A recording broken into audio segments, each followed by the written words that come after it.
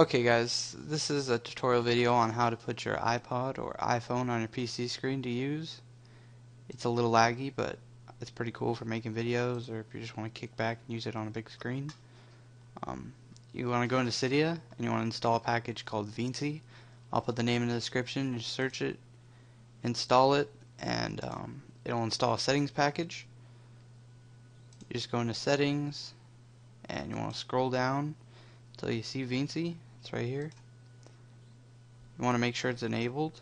Um, show cursor can be on and off, doesn't matter. Um, go back, and now you're going to have to go onto your PC, and you're going to have to get a thing called a VNC viewer. Basically, uh, receives the images that your iPod or iPhone is sending over the wireless signal. Um, I use TightVNC. I'll include a link in the description. You want to get the self-installing package for Windows. Works really well once that's installed, you just need to open this up and it'll say TightVNC server. It won't have anything in it.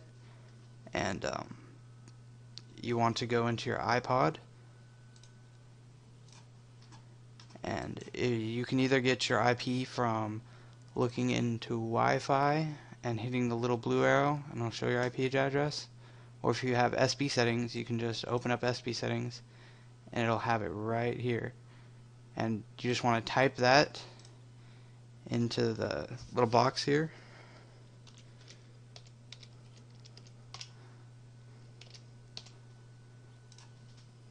And it'll send a notification to your iPod. You just hit accept and it'll come up on your screen. And like I said it's a little laggy but it's sending the images over the network so kind of makes sense. Um, you can just click around just like a touch screen. You can scroll. Um, you hit right click it's home button. And the middle mouse button is the lock. And yeah I use to make videos. It's really useful. Um, have a good day and subscribe